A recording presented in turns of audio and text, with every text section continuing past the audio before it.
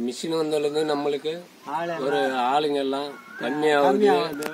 சீக்கிரம் வேலை ஆகுது கவுர் போட்டு நம்ம குச்சி போட்டு இழுக்கிறதுல வந்து ஆளுங்க லேபரு ஜாஸ்தி ஆகுது. ஆளுங்களுக்கு டைமுக்கு இப்போ சீசன் டைம்ல ஆளு கிடைக்கிறதுல.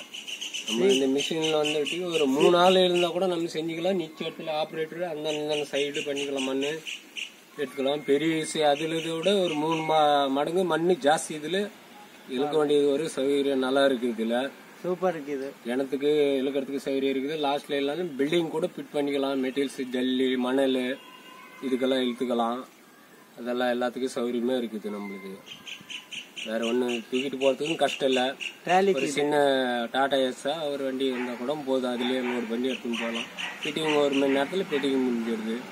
அது ஒரு எந்த கஷ்டம் இல்லை.